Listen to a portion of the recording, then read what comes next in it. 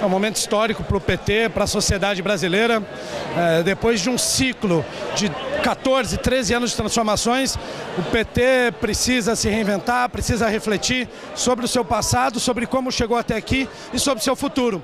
Nada melhor do que fazer isso em Salvador, com tanta gente engajada em mudar o mundo, em construir um mundo melhor. É isso, viva o PT e viva o 5 Congresso Nacional.